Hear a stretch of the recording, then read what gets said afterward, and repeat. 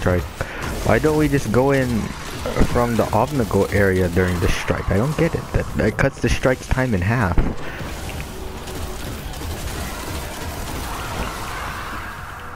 Know. I swear Guardians are idiots, Hooper. Especially that one Guardian, Real Hooper underscore 10. He's an idiot and a horrible hunter. Alright, Neil, you play with fire. Hope you know that you don't. Shut up, Hooper. I can extinguish fire by pouring water on it. Minecraft style. See what I did there? You said you're playing with obsidian. Nah, you're playing with lava, Hooper. Because if you put water on lava, it'll turn to obsidian and still hold a grudge. not in real life. All right. See what you can pull out. What does it turn into then, huh, what Hooper? it up to. Joke there Look like it. Yeah, right, Hooper. Then how come the ocean's still here, huh? Huh? Yeah, that's what I thought.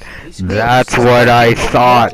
That's what I thought. Nah, nah, nah, nah, nah, nah, You need a no. whole Hooper. bunch of more water. No, no, no. So you're telling me uh, two gallons of water do it? Vanguard are satisfied. We can Well, rely on wh- endless which would win, a cup of water or a volcano? steel Crota soul. A volcano.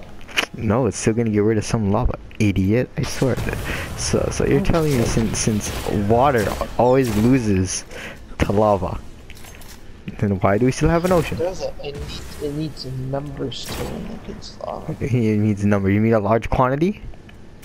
Yes. Then which which would lose then? A cup of lava or a bucket of water? That's what I